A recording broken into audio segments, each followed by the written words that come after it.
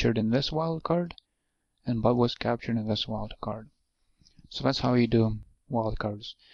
Now, to put that knowledge to proper use, let's make a simple targeting alias. Targeting alias is a pretty much the first thing you do in any MUD client. So we put T, now we put that little combination of a bracket dot asterisk and close bracket, and we close it like this. And now we test our alias. So instead of doing this, we just say say hi matches to. So just to go a small test, we say hi Bob, and it worked. Hi Bob. Now, because it's a targeting alias, the point of a whole alias is to save your target into a variable.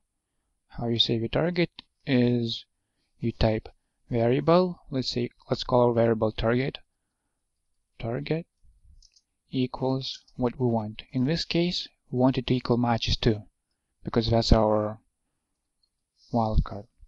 So we say like this, hello matches 2. We save it, and let's change this to say target.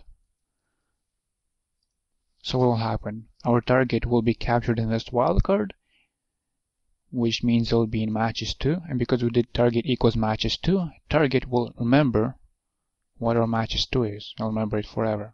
And we you say hey, say hi target. So right here, it'll have the same effect. Hi Bob.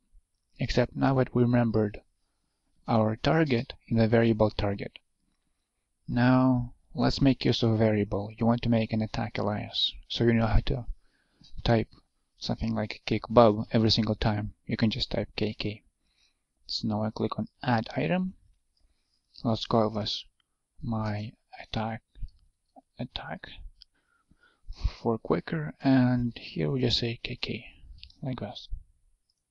Now remember that our target is in the target variable.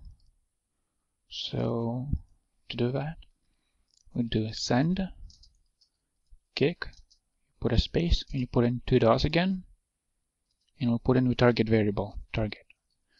So now send will send a command kick target. Save it, activate it. Let's try it out. KK. And uh, we don't have a Bob right here, but it did work. It sent the command C. Kick Bob. So our alias is working. Quite nice, huh?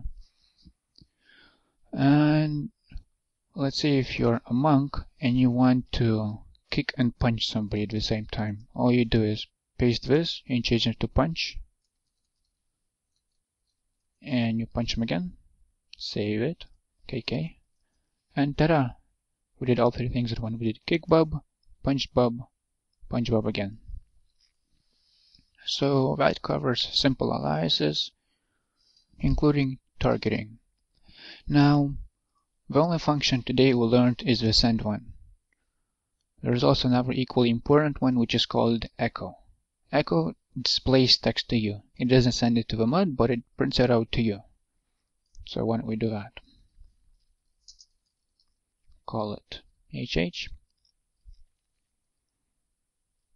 And the name of the function is, obviously enough, echo.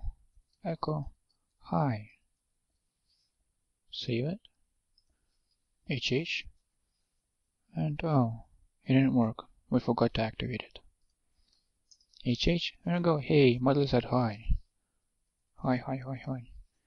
Now, let's apply our knowledge of wildcards and make it say hi or whatever we told it. So if we do HH Bub, it'll say hi Bub. So let's put this little funny combination again echo hi and we'll put in Bob. Oh, we don't put Bob, we'll put matches to. Because we want the wildcard to go into here and it's called matches to in here. And remember your two dots to glue things together. Save it, and now we do HH Bob. Hi Bob. HH Sally. Hi Sally. So it's working. And that would conclude the simple alias tutorial for today.